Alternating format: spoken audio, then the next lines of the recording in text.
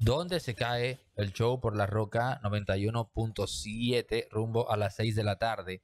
Voy a leer un caso con ustedes bastante curioso. Voy a voy de atrás para adelante. Oigan esto.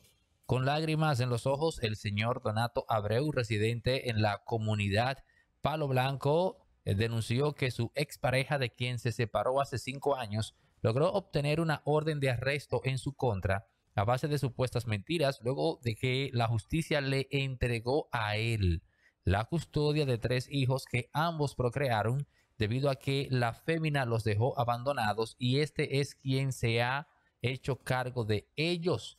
Eh, comentó que Oneto, más bien como es conocido en Jarabacoa, ofreció estas declaraciones al momento de ser llevado al destacamento policial de la zona para ser presentado eh, ante la Fiscalía de La Vega. Según el detenido, la madre hace esto porque ha incumplido con la disposición de la justicia que la obliga a ella que a pagar la pensión de 3.500 pesos para la manutención de los infantes de los cuales él se ha hecho cargo, como forma de ayudar al hombre quien ha tenido que ser madre y padre al tenerlos a su cargo. La mujer estaba citada para el jueves en el juzgado de paz de Jarabacoa por incumplir con lo acordado en la fiscalía de ayudar a Neto con los hijos de ambos, razón por la que, según el detenido, se inventó un cuento, un cuento para que lo apresaran.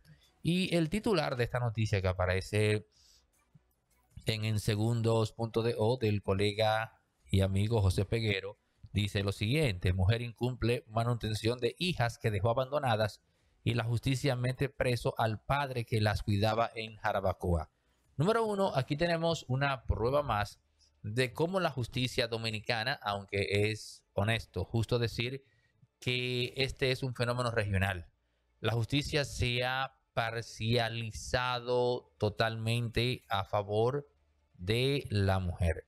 Y esto tiene, tiene un impacto que Número uno, no es positivo para las vindicaciones sociales de las mismas mujeres que hasta hace poco fueron blanco en sentido general de, digamos, negarles, negarles tener la oportunidad de competir junto a sus pares del sexo masculino. Nunca estaré de acuerdo con la asignación de cuotas en función a género, en función a un estatus porque eso no hace más que promover la mediocridad. Es algo básico en la naturaleza del ser humano lo que opera ahí. Si ya yo tengo algo garantizado, un puesto X, por el simple hecho de ser mujer, ya eso me inhibe a mí, no me estimula a yo dar lo mejor de mí como individuo para demostrar que tengo los méritos por los cuales estar ahí.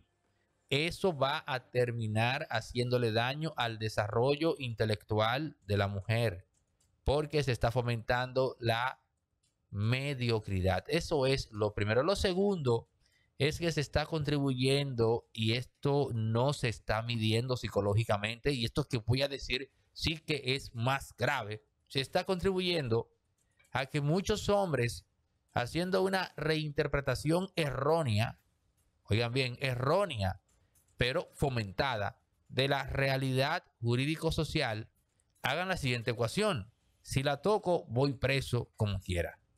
Ahora bien, si es yo de tocarla y, e ir preso por solo hacer eso, pues mejor voy bien preso yendo al extremo. Y ustedes saben cuál es ese extremo. Si usted le deja saber al hombre, sobre todo aquel que no racionaliza mucho, aunque en un momento de pique en buen dominicano se le va la razón a todo el mundo, pero amén. Si usted le hace saber al hombre que por solo tocarla, igual lo preso y le tocan unos cuantos años, pues entonces usted le está colocando en la mente la idea de que igual da, igual da, ¿no? Hacer lo otro y llegar al extremo de comprometer la vida de esa mujer. Eso es lo que usted está incepcionando en la mente de esa persona y ese es un impacto social que no se está calculando dentro de esto. Lo mejor hubiera sido simplemente tratar de garantizar equidad en el tratamiento de los casos. Pero, y aquí soy un poco ignorante, por aquello de que no quiero pensar que se trata de algo sistematizado adrede. Prefiero pensar que simplemente los jueces están siendo condicionados por el resto de la sociedad y fruto de ese condicionamiento, lo más fácil para ellos es, que cuando venga una mujer en teoría agredida, no van a comprobar eso. Y de inmediato, pues envían a prisión al hombre. Algo que es arbitrario porque se está pasando, se están pasando la presunción de inocencia. Y si usted me dice a mí que el tema es que representa una amenaza para la fémina, pues ahí usted está escondiendo una incompetencia social. Porque adivinen qué, el Estado, la función primaria del Estado, históricamente, lo que lo sustenta es garantizar la protección de los civiles, garantizar la protección de la ciudadanía. La norma debiera ser, en efecto, garantizar la protección de las mujeres que pudiesen estar amenazadas. Porque créanme, si vamos a investigar caso por caso, nos vamos a encontrar al menos en una paridad. Un caso de un hombre que si realmente representaba una amenaza versus el caso de un hombre injustamente preso. Y lo es injustamente preso porque la justicia está tan parcializada que ya es un asunto de celaje, de sombra. Si ven venir una falda y a un hombre no escuchan bien y están esperando al hombre para que desde que llegue meterlo preso. Entonces, en esa misma línea, el caso de Neto nos demuestra a nosotros que es un mito el tema del padre que no vela por sus hijos. Claro, usted dirá, bueno, tú eres un padre responsable, no te corresponde hablar a ti. No, no, no, no, no. Si usted va caso por caso en los barrios, se va a encontrar con situaciones en las cuales incluso en el debate interno de interrumpir la vida, hay mujeres jóvenes que simplemente lo hacen por deporte, no lo hacen por criterio, no lo hacen porque han hecho una, digamos, un estudio de su caso en particular. Hacen eso por deporte. Y cuando tenemos ese tipo de casos, lo, lo justo es defender al indefenso, al que está dentro. Repito, cuando es un caso por deporte que en los barrios los hay muchos, incluso hay féminas que sienten fascinación con eso. No es obviamente lo genérico, pero son casos particulares. Y si nos abocásemos a un estudio un poco más minucioso, pues créanme que la opción de interrumpir la vida tan alegremente no sería la que usáramos al vuelo.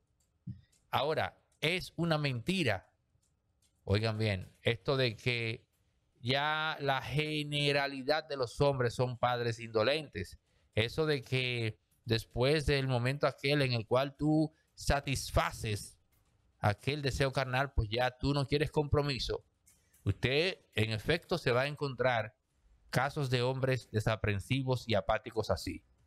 Pero también se va a encontrar casos de mujeres así.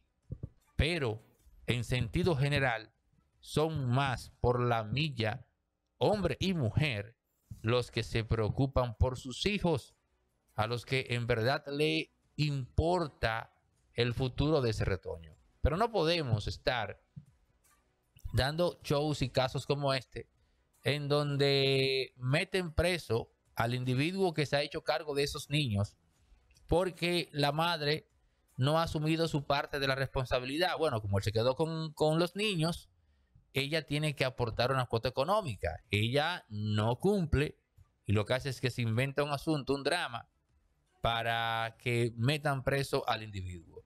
Lo primero es que si eso se hubiese estudiado antes de y se determina que él tiene razón, pues ese no debió ser el final.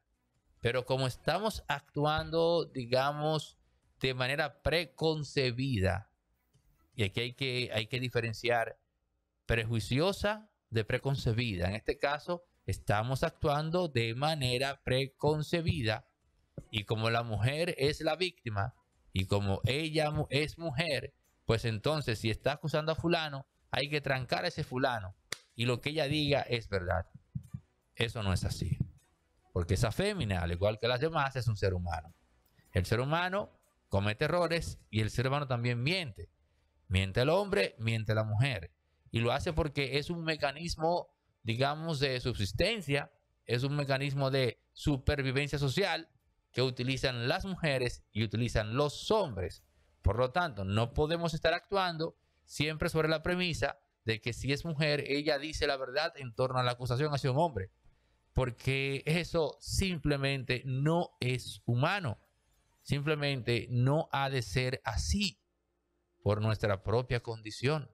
No solo de que mentimos, sino de que cuando sentimos que estamos respaldados, ahí somos todavía no solo proclives a mentir, sino a agrandar esa mentira.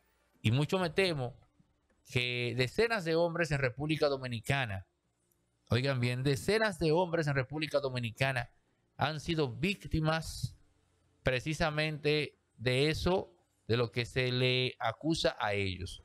Han sido víctimas de violencia, porque privar a una persona de su libertad sobre la base de una falsa acusación, sobre la base de un falso testimonio, es un acto de violencia.